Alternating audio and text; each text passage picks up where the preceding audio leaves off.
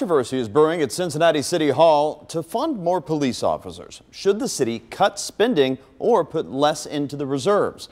9 on your side's Brianna Malloy is live at City Hall right now with what council decided. Brianna?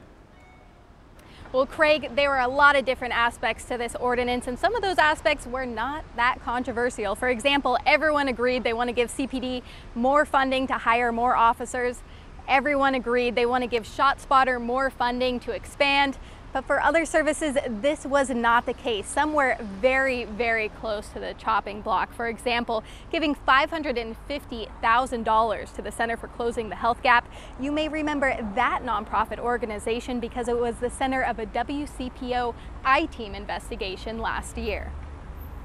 All, all, the human service agencies that get money from the city have to compete on an equal basis, and they shouldn't get a separate line item a special treatment. They should be treated the same as every other group. Mayor Cranley wants to cut services and put more money into Cincinnati's rainy day fund.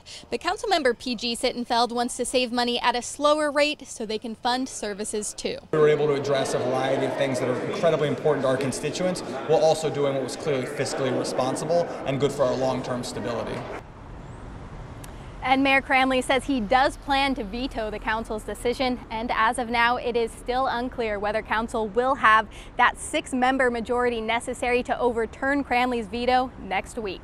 Live from City Hall, Brianna Malloy, 9 on your side. All right.